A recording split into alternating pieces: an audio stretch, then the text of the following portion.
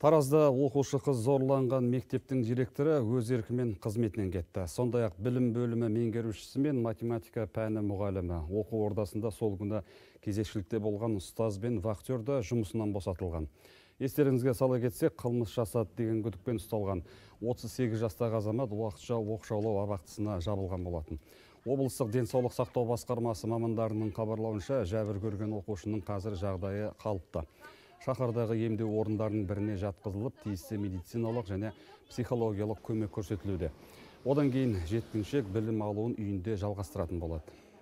Полиция департаменті бастығының айтуынша күдікті 17 жасында зорлау дерегі бойынша істі болған.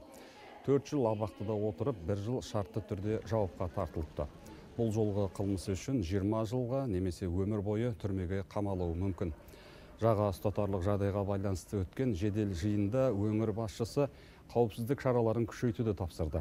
Оқу ордаларындағы істен шыққан камераларды да жаңарту қажет деді.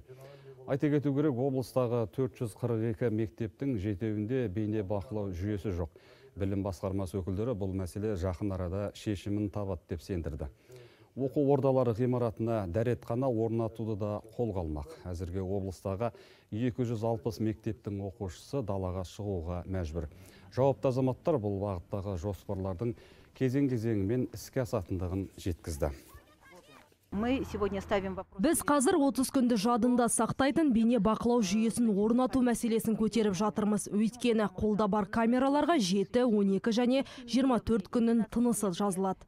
Дополнительно патрульный полицейский будут қосымша патрульдік полицейлер әр мектептің аумағында күндіз және кешкілік уақытта бақылау жүргізетін болады. Менің бұйрығыма сәйкес қылмысқа жол берген мектеп инспекторы жұмысынан босатылды.